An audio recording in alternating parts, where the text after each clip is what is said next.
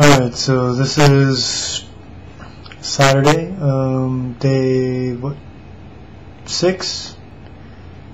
Yeah, it's gotta be day six of the polyphasic sleep um, experiment. It's weird to call it an experiment, really, at this point. Um, everything's working really well. I, I feel great. Um, awake, I dream almost every night now.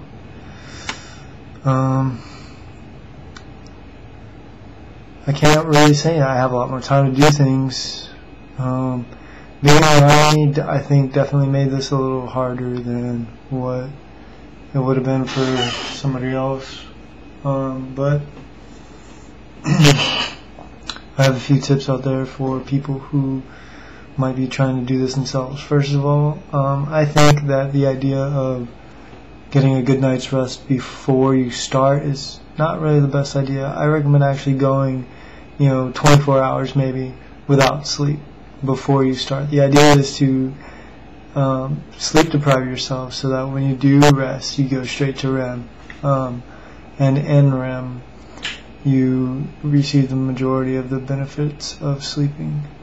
So, yeah, I, I recommend not sleeping for maybe a 24 hour period before beginning the naps.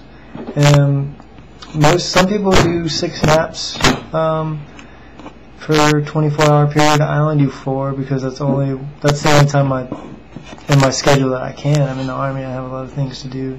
I can't take six naps, six naps in a day.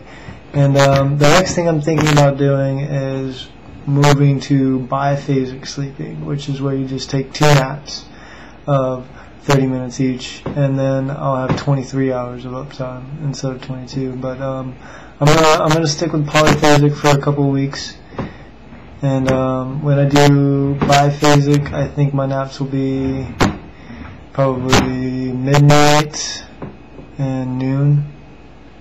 I think would be the best times, uh, the the easiest times really for me. Um,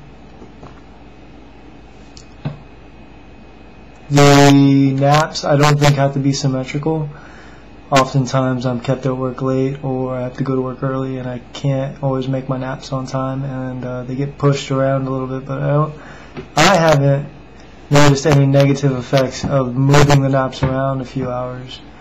Um, the negative effects I have noticed is oversleeping. Um, just don't do it. It's not worth it. Like I know when you wake up in the morning or when you wake up from your nap, you feel just terrible and you're like, oh, I didn't get any sleep at all. I should hit my alarm clock, put 20 minutes more on there, and you know go for round two of trying to sleep. And this is a fallacy, really, because um, if you're not going to sleep, then just keep going. Eventually, your body's just going to be cr- cr- screaming out for sleep so bad that as soon as your head hits the pillow, you're going to go to bed. Also, um, you may not know that you're going to sleep. Um, I, there were a couple times where I went to bed and I just, I, and my alarm went off and I didn't know if I had been asleep or not. It seemed like the 20 minutes went by really fast, you know, which would be indicative of sleep time, but um, I really couldn't be, you know, 100% sure about whether or not I had slept.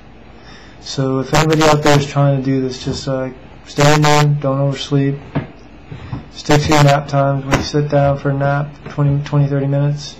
When that time's up, be up and ready to go. Um, set your alarm clocks far away from you so that you have to get up and move. Um, some people recommend having a lemon there ready for you to bite into. Uh, I don't. I, I didn't do anything like that, but definitely getting up and turning the lights on did a lot for me. Uh, if I got up and walked across the room to turn the lights on, um, oversleeping really wasn't my thing. I had two spells with oversleeping, and uh, both times I woke up, you know, an hour of that uh, without an alarm clock, and I had a dream both of the times. So it's really um, oversleeping may it may just be inevitable. It's probably going to happen, but don't be discouraged if it does. Just keep on going at it, and eventually you're going to make it over the hump like I did.